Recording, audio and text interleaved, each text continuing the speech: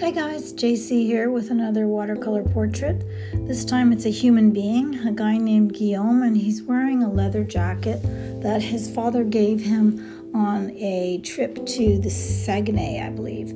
Um, so uh, this is a wet on wet technique. I'm starting with just a layer of water, clear water, and applying a coating of um, uh, very, very light um, manganese blue hue uh, in a wash and then I let it dry and I put a few more layers down. I did do this water several times as practice um, and uh, um, some some other sheets of paper just to try to explore what was possible and in the end I decided on this approach. So in between coats letting it dry and applying water and then putting um, more paint in that in a wash, a horizontal wash and then now I'm actually just using um, uh, uh, wet on dry. So I'm adding uh, some, uh, some paint and just putting in some more details. Here I'm adding some ultramarine blue just to cool everything off a little bit.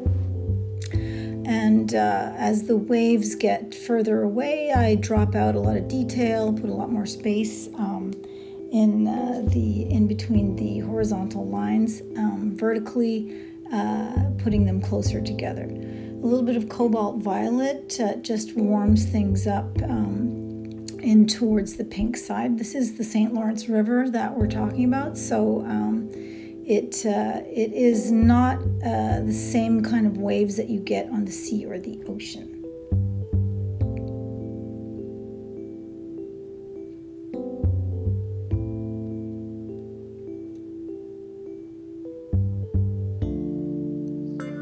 A little more depth with some more cobalt violet. Love this color, it's very versatile.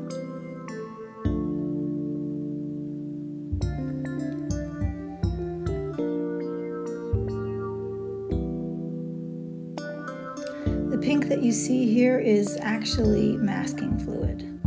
So we take the masking fluid off when everything's dry and uh, now I'm going in just on the face area because the face is actually only about an inch and a half high and I'm adding some details just for my own reference, which you can see I'm using an HB lead. Um, it's very, very small and a mechanical pencil. Um, and uh, knock it back with a kneaded eraser. Right, so the face, I had to keep everything simple because as I said, it's a very, very small area in um, uh, an 8 by 10 painting. So the usual colors that I use for skin tones, Naples yellow and quinacridone rose um, and uh, also some perylene maroon, cobalt violet, of course, for the shadowing, and um, uh, ultraviolet blue. The hair is sepia and uh, also ultraviolet blue, and probably I think I put a little bit of um, uh, manganese blue hue in certain areas just to add uh, bounce light of the sky and the water. Just adding some details in the face to warm it up a little bit.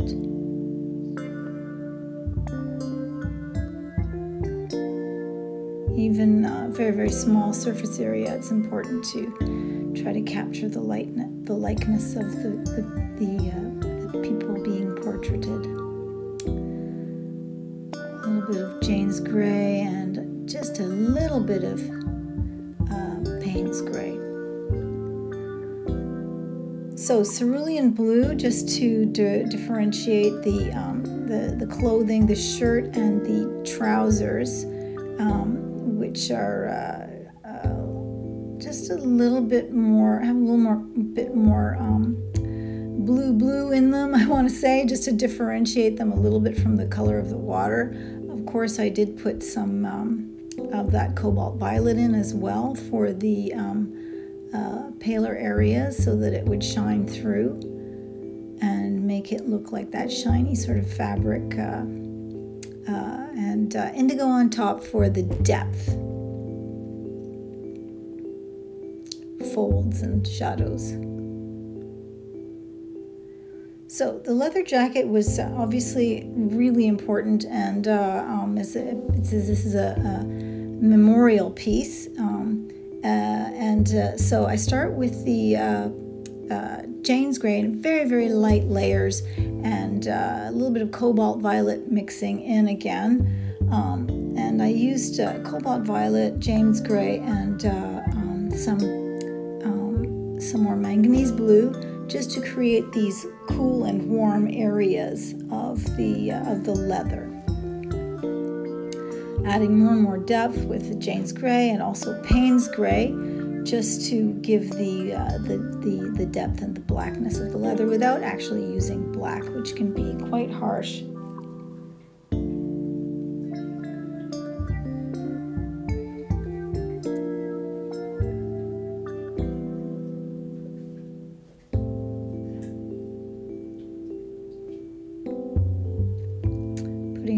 midtones. The detail on this leather jacket was uh, yellow ochre and sepia, just a little bit where the snaps are. Then, uh, after I put in the midtones and the depth, I realized that I need to start lifting out some highlights. So I'm just using a nylon brush to um, just lift out some of the paint and uh, create some highlights without actually using white paint. Overall details and harmonization of the painting.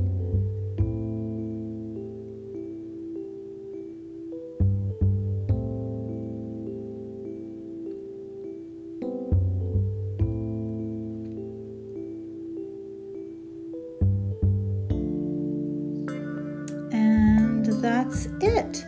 So I hope that was helpful. I hope it was useful. I hope you enjoyed it. And thanks for watching.